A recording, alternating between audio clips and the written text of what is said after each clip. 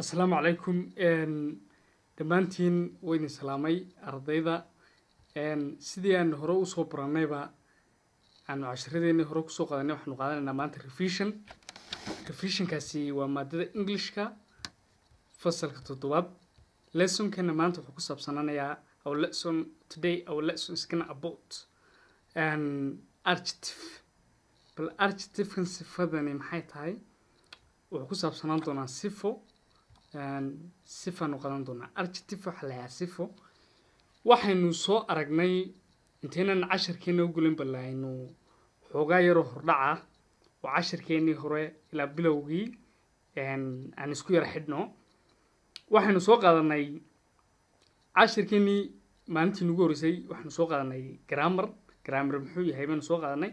Waxaanu nidhi waa cilmiga la dhigaya ereygii saxda ahaa goobtii ku saxda ahayd ku habboonay waxaanu soo sheegnay eight parts of speech waxa la yidhaahdo oo ay ugu horreysay noun pronoun verb adverb adjective preposition conjunction iyo interjection. Noun waan nidhi waa magac. Waanu soo qaadanay isagii types of nounkii. Waxaan kalenu soo qaadanay types of nounkii oo aynu inagoo soo koobnay proper noun iyo common noun ka soo qaadanay oo labada had iyo lagu caansanay aada loo isticmaalaa yihiin sidoo kale waxaanu soo qaadanay pronounkii baanu soo qaadanay. Pronounkii waanu sheegno waxaan idhay pronounka waxa weeyaan waa erey la dhigo halkii magaca la dhigi lahaa halkii cabdi la dhigi lahaa tusaale ahaan ayaa la dhigayaa pronoun magacooyaa la dhigayaa. Sidoo kale waxaanu soo qaadanay adverb adverbkaasaanu sheegnay wuxuu ahaa. Waxaanu waa erey loo isticmaalo kaasoo qayaxaya ama modify garaynaya oo wax ka sheegaya ficilkii sidoo kale sifadii sidoo kale ficilkaaba kale adverb kuli wax ka sheegaya. Ficilkii baynu soo qaadanay isagana verbkii verbkii oo ahaa isawed erey muujiya in shaqo la sameeyey. Maanta waxaanu qaadanaynaa markaas adjective sifo adjective maxay tahay? Bal ayaanu qaadan doonaa. Bal aynu nimaadno sifo waxay tahay aynu halkan ku baranno adjective sifadu is a word waa erey that kaasoo describes. Wuxuu qayaxaa noun magacii.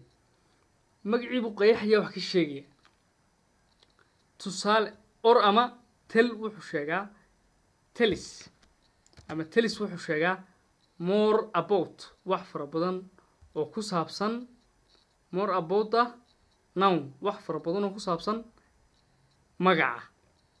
Ayuu sheegayaa and makes wuxuu ka dhigayo writing qoraalkaaga wuxuu ka dhigayaa more interesting mid leh xiise fara badan oo dadka xiiseynayaan ayuu ka dhigayaa. Marka sifooyinka la isticmaalo sifooyin kala fara badan oo kala duwan ayuu ka dhigayaa. Sidoo kale wuxuu ka dhigayaa in dadku si fiican u fahmaan qoraalkaagii nuxurkii oo qoraalkii uu xiise u yeelo dadka akhriyaan ayay sifadani ka dhigaysaa markaad waxyaalihii aada la kulantay o dhan sheegtid sidaynu ku soo sheegnay sifadu adjective sifadu sawed waa erey kaasoo qayaxa ama wax ka sheega magacii magacaasi wuxuu ka sheegayaa cabdi waa nin dheer tusaale. Maxamed waa nin gaaban tusaale. Magacan wuu ka sheegayaa ma maxay maxamed buu wax ka sheegayaa maxamed miyaanu magac ahayn. Markaas kaasoo kale waxaa la yidhahdaa adjective sifa la yidhaahdaa u kaalay bal exampleskan exampleskan u kaalay number one axmed ninka axmed lahaas. Big house. Wuxuu haystaa ama wuxuu leeyahay guri aada u weyn. Marka ereygaa big ereyadan u fariiso aan ku qoray khadka cas. Ereyadani waa wada adjective waa sifo waa wada haa adjective waa sifo axmed has a big axmed has big house.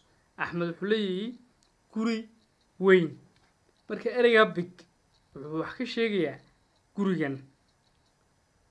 Had iyo jeeraalana waxaa loo isticmaalaa adjectiveka waa majority-ga waa inta ugu faraha badan inay magaca ka dambeeyaan ka horeeyaan baan lehay oo ay halkaa galaan hadda halkaa taasi ku jirto ay galaan. Halka taasi hee big ay ku jirto ay galaan baa loo isticmaalaa. Oo badanaa la dhigaa. Waa before the noun. Adjective is a word that um, describes a noun or tells more about the noun. Wuxuu sheegaya wax fara badan oo ku saabsan nounkii and it makes your writing more interesting and also it's used before the noun. It's put before the noun. Waxaa la dhigaa magaca ka and uh, if you want to, uh, to write uh, interesting article or composition or or letter or email you should use an adjectives. So attention catching adjectives you should use in order uh, to catch the attention the reader's attention. And sidii aad u qabsatid qofkan akhriyaya waxaad doonaysaa inuu qofkan qoraalkaagii uu si fiican u akhriya baad doonaysaa marka waa inaad attentionkii qofkan uu ku akhriyi lahaa. Waxaysidii uu ku akhriyi lahaa qofkan qoraalkaaga aad qabatid aad soo qabsatid si qoraalkaagii u akhriyo. Marka waa inaad badanaa isticmaashid adjectiveka. Um, in order to make your article composition more interesting you should use an adjective. Waa inaad isticmaashid adjectivekan si aad qoraalkay ugu dhigtid xiisa leh taas waa intayn aan aan adjectivekan xog dheeraada kaga siin karo. Halan kale kaalay. Axmed haase axmed haas big house axmed wuxuu leeyahay guri weyn. Faarax ninka faarax lahaa ise tolman waa nin dheer. Tol waa nin dheer. Today maanta is a sunny day oo maalin cadceedi jirto. Cadceed baa jirta sunny. Waxaa taqaanay ereyga san baa taqaanay soo ma? San ayaa taqaanay waa nown waa nown san markan waa nown laakiin markaan doonaya inaan adjective ka dhigo sunny baan leeyahay waa sifa marka. Ma aragta hadda. Sidoo kale tusaale kalean ku siinayaa tusaale kalean ku siinaya beautiful. Beautiful. Markan waa adjective. Waxaan doonaya inaan adverb ka dhigo beautifully baan leeyahay sidoo kale waxaan doonaya inaan ka dhigo noun waxaan leeyahay beautifulness. Sorry waxaan leeyahay beautiful wakaalay waxaan leeyahay beautifulness. Magac baan markan ka dhigay. Magac baan ka dhigay markan. Beautifulness baan idhi halkan u fiiriso. Beautifulness baan idhi kan kalena waxaan idhi kanna waxa weeyaan waa beautifully waa adverb laakiin markay halkan nagu jirto maxay tahay? Markay halkan nagu jirto maxay tahay? Markan maxay tahay? Markan arday oo aadii la soco markan maxay tahay? Markan waa sifo waa adjective.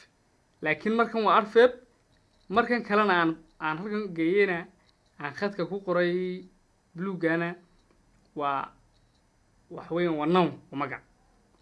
Taasi waxa weeyaan waa yaro hordhacan cashirkeena ku yara saabsan.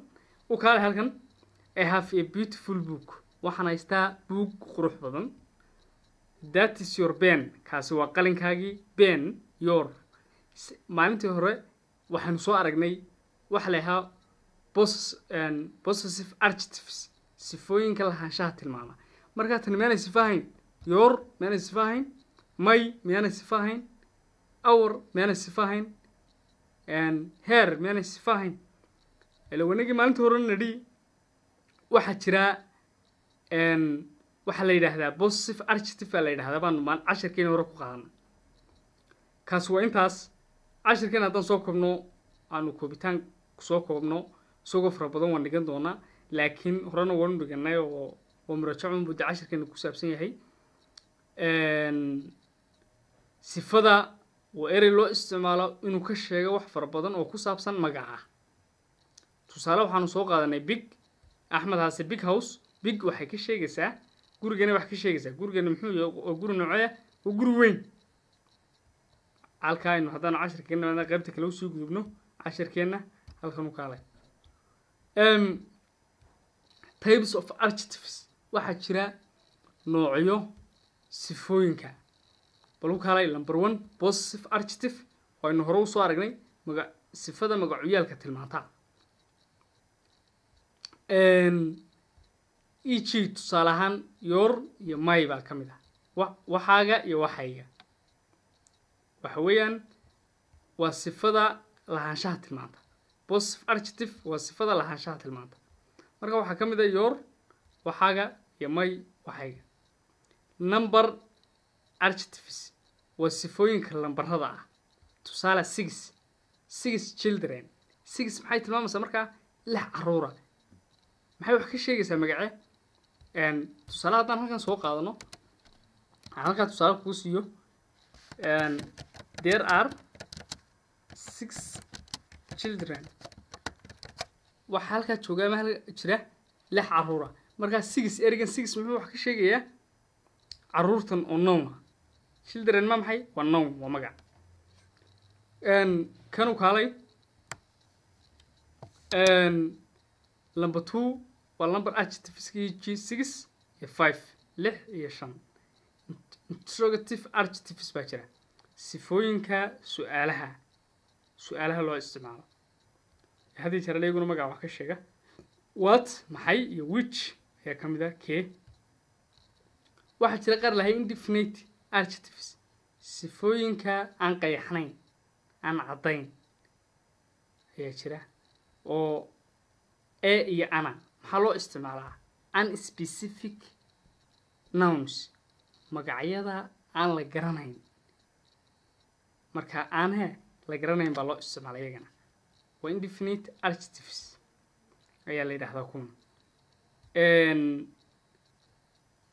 bal aynu kala noo cashirkeena exercisekan ugu dambeeya. Exercisekan waad ka soo shaqeynaysaa exercisekan exercisekan use baan ku uri these sifooyinkan isticmaal waa sifooyinkan one two three four five. Shanta sifaad isticmaalaysaa. Dan dabeetna construct five statements. Waxaad sameynaysaa shan jumladood baad sameynaysaa ay kuwina ku jiraan tusaale ahaan haddaan mid tusaale kaa siiyo kaa ugu horreeyaba haddaan tusaale kaa siiyo tusaale haddaan kaa ugu horreeya kaa siiyo wuxuu noqonayaa axmed ise tall boy. Axmed waa inan dheer tusaale ahaan.